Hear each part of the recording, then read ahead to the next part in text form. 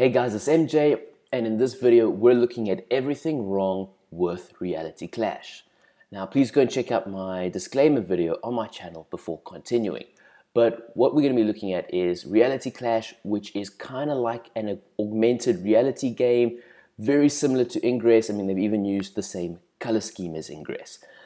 And the team is quite quite impressive. I mean, they've got quite a lot of experience, 20 years working on some big titles some screenshots from the potential game makes it look awesome and they do mention their technology and, and, it looks great. I think this is definitely a game that I would play, but it's not something I'm going to be investing in because while reading through it, I kept asking myself, why do they need to do an initial coin offering and why on earth do they even need the blockchain for this thing? And what we're going to be doing is just looking for some red flags. And the first red flag was when we go to the pre-sale. So the ICO only starts tomorrow, but already you can invest in the pre-sale. And that's 50 Ethereum or 50 Ether, which is 15,000 US dollars at a price of 300 Ether. And 15,000 US dollars is absolutely huge for a pre-sale. And I'm going to give it a red flag. And I'll tell you why, because when you read a little bit lower, this is what it says pre-sale investors, so they are considering us to be investors, except that the final terms of the actual sale are not yet available. Would you would you invest 15,000 US dollars into a sale where the final terms have not been determined yet? That that I mean just on that you should walk away. But don't worry guys, it gets better. It gets better. If you do this pre-sale, of which there are 50 million of these coins. So half of the, the total coins are going to be available for this pre-sale, but you can get a bonus 50%. And that that's a oh, it's a big pet hate of mine when they have a bonus coin because that is such a clear indication that you're buying a virtual product and not a virtual investment. Because in order to have 50%, they are so overvaluing this thing in order for it to still be profitable for them. So the fact that there's the bonus is insane. And the fact that the ICO token, you know, 30% for the early comers, then going to 10%. Again, I'm, I'm giving two red flags because these bonuses are so high.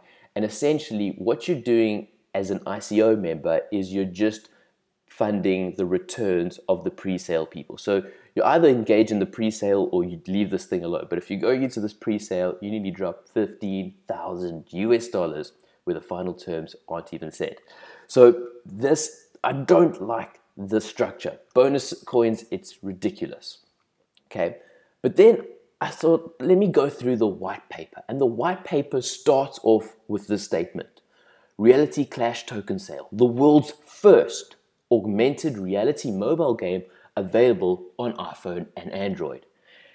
And when your white paper starts with a lie, because it is a lie, that's a red flag. And the reason why it's a lie is because they're not the first augmented reality mobile game. And how do we know that?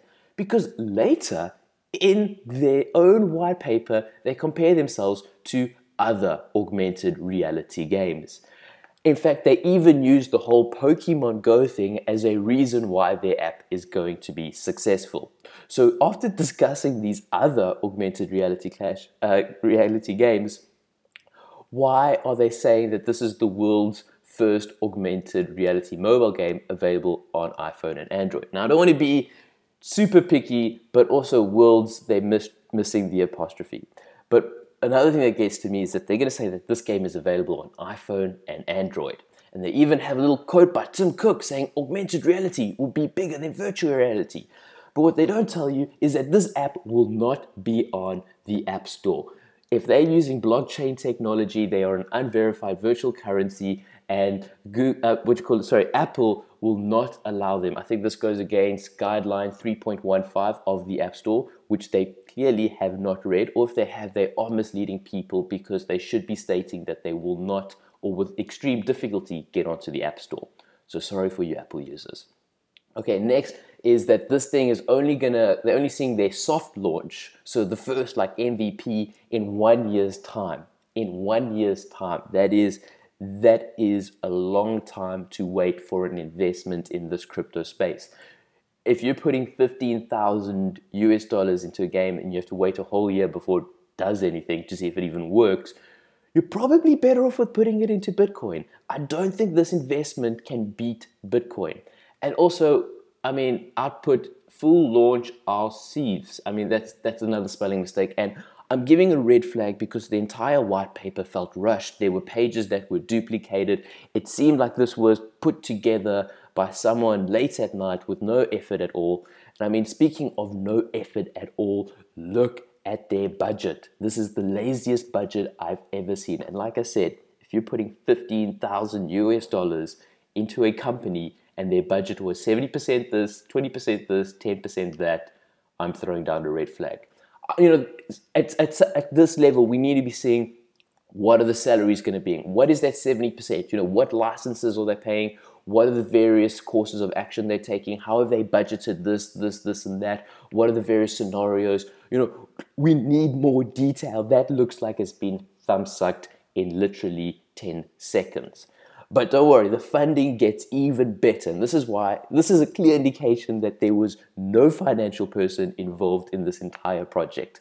Because listen here, Reality Gaming Group will be raising a minimum of 1.5 million through an ICO token sale. Okay, 1.5 million. That's that's quite low for an ICO. It's it's quite low, um, but maybe they don't need that much money to, to make the game. Okay, what what is their what's their cap going to be? Well, they want a minimum of 1.5 million. We see in their in their website that they're going to be making a hundred million coins. That, that that's the limit. There's going to be only hundred million coins, and that these coins are valued at 30 cents, which means that they have a maximum potential of raising 30 million US dollars. Now, a minimum of 1.5 million, but a maximum of 30 million. That is a massive red flag to seeing a 20 times gap. I mean, because you have to ask yourself the question can they make the game with 1.5 million? And the answer has to be yes, because if the answer was no, then if by them raising more than 1.5 million, they say 1.5 million and one dollar, and they can't meet all expenses, then that is terribly irresponsible because the project will fail and the people who invested in the ICO will lose all their money, which goes against the whole ethics and everything of an ICO that you invest till you get to a certain limit. So if you don't get that limit, people get refunded.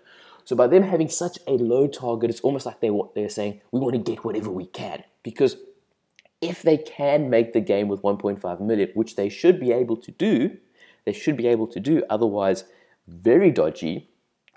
What will they then do if they had to get 30 million US dollars? What would they do? Are they going to go buy fancy yachts? Are they going to buy the latest Lamborghini? Because nowhere in their white paper do they say, you know, if we hit, these certain targets, we can reduce the, the deadline dates, or oh, if we get, you know, over 20 million, we're going to introduce extra cities, or we'll launch um, extra features. Nothing. They're silent. So they're basically saying that they could pocket that money themselves. It is that is very, very dodge.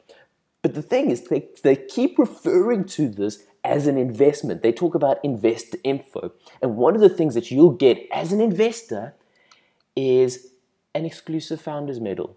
And I'm sorry, that is that is a joke. That is a joke. That and the investor info, they're not talking about potential returns, any mention of risks, nothing. And in Best info, you get an exclusive founders medal.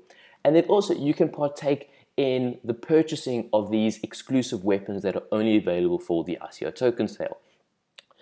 And I mean, this kind of feels like a pay to win game, which now I'm no longer even interested in playing this game.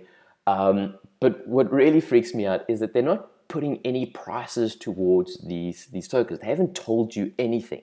And this is a big red flag because if you're going in as the ICO and you purchase, say, $100 worth of these coins and you come to the market on the 1st of November, you're coming against guys who have spent $15,000 on this game. They're coming, and if there's only going to be a limited number of these guns, do you think your $100 is going to be able to get you one? Well, we don't know. We don't know what the price is. We don't know how many of these things are going to be. There's hardly any information, and that freaks me out as a potential investor.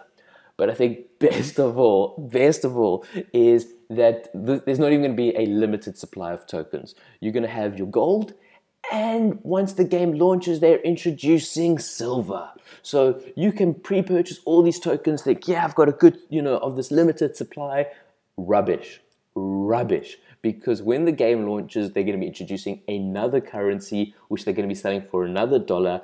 And I'm just thinking this is a money making scheme. This entire game is driven by profit and not by the technology. And that's really upsetting because the video did look cool. It did look like it had potential. But this introduction of the silver currency, it just destroys all credibility of this thing. It, it ruins the whole thing because the whole idea would that be that this gold would be this virtual currency that only you who partake in the ICO could engage in the game. You could then sell it at a later stage for more money. Yay. But if they're selling it at silver, not only do they cap the maximum return that you can get, but they dilute the market, and people are rather going to be buying the silver from them than from you. And it's just, oh, it's just this. This is not an investment. This this is not an investment. Stay away from this ICO because at the end of the day, this is just a pre-sale of a game that hasn't been made yet. There's no guarantees that this game will even be made, and I would actually advise just just stay away. Just stay away. Maybe download the game when it comes out next year, which will probably be, be delayed, but it's not worth it. Look, if you are interested and you want to maybe investigate this thing a little bit more, I have written a book around how to value initial coin offerings where I've got, you know, lots and lots of various questions that you should be asking to raise certain red flags. The book is available on Amazon. The link will be in the description below, so feel free to, to get yourself a copy of that. But otherwise, come join me in the comment section below. Maybe this game is amazing. Maybe this is going to be the next big thing. Tell me why I'm wrong. Let's start this discussion. Let's let's hear different opinions and let me know what ICO you want me to do next. Thanks guys so much for watching and cheers.